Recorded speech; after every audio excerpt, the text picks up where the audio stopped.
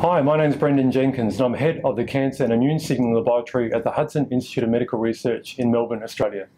And I'm Ruby Dawson and I'm a postdoctoral researcher in the Jenkins Lab. And it's a pleasure to share with you our latest paper published in Gut.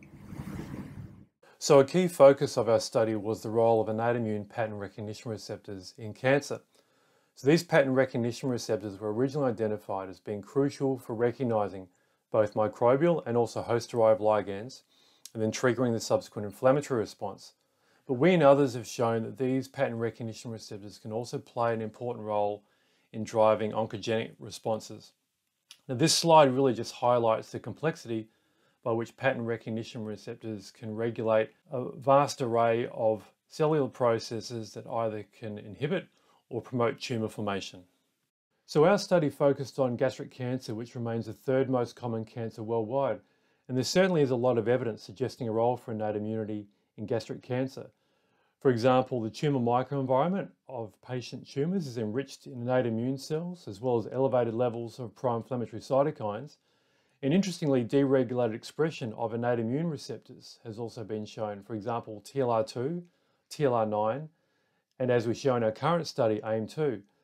Now, despite this, Immunotherapy in advanced gastric cancer has really relied on antibody-mediated immune checkpoint inhibitors, but unfortunately these have only provided marginal clinical benefits. So there really is a need still to identify new regulators of innate immunity as molecular targets for immune-based therapies in gastric cancer. We found that AIM2 was significantly upregulated at the RNA level in tumours and adjacent tissue compared with normal gastric biopsies. Increase in AIM2 at the protein level was also evident, shown by this immunostaining where AIM2 upregulation can be seen localized to the gastric epithelium. High AIM2 expression also correlated with poor patient prognosis, as shown by this five-year survival graph. We observed that AIM2 expression correlated with STAT3 target gene expression, so using STAT3 knockdown cells, we discovered that AIM2 appeared to be directly regulated by STAT3. This was further supported by immunoprecipitation showing the interaction of STAT3 on the AIM2 promoter. AIM2 expression was also elevated in tumour tissue of our FF mouse model of intestinal type gastric cancer, and when we knocked out AIM2 in these mice, gastric tumour burden significantly decreased. This is evident in these photos and H&E stomach sections at 10 weeks of age and more pronounced at 30 weeks of age. Furthermore, xenografts of human gastric cancer cells overexpressing AIM2 grew larger than empty vector controls. As AIM2 is most well known as an inflammasome-associated pattern recognition receptor, we first looked for a difference in inflammasome activity in our mouse model. Interestingly, we found no difference in levels of inflammasome-related cytokines IL-1 beta and IL-18 in AIM2 knockout mice as measured by ELISA and Western blot. Similarly, there was no difference in levels of cleaved caspase 1, another marker for inflammasome activity.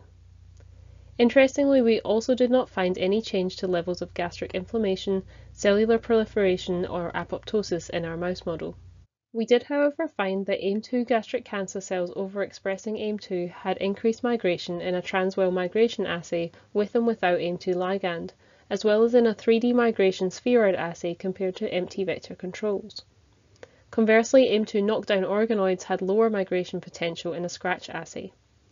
These differences in migration potential correlated with number of filopodia protrusions on the cells, which are important for cell motility. We subsequently found that AIM2 interacts with microtubule binding protein EB1, which is represented by the fluorescence in this proximity ligation assay. Through deletion of EB1 in our AIM2 overexpression system, we showed that EB1 is functionally required for the increased migration driven by AIM2, as shown by the loss of this phenotype in transwell and spheroid assays. This also translated to a decrease in xenograft growth in EB1 knockdown cells. Overall, our investigation revealed the important function for AIM2 in gastric cancer, but interestingly not as the pattern recognition receptor involved in the ASK inflammasome. Our investigation showed that high AIM2 expression in gastric cancer tumours was regulated by STAT3, and also revealed a novel role for AIM2 which was independent of the inflammasome or inflammation, and rather modulated migration via the interaction with EB1. So in summary, our work provides a substantial advancement in our understanding of the role of innate immune pattern recognition receptors in cancer, and more so it now provides the rationale to target AIM2 and potentially other cytosolic DNA sensors in gastric cancer.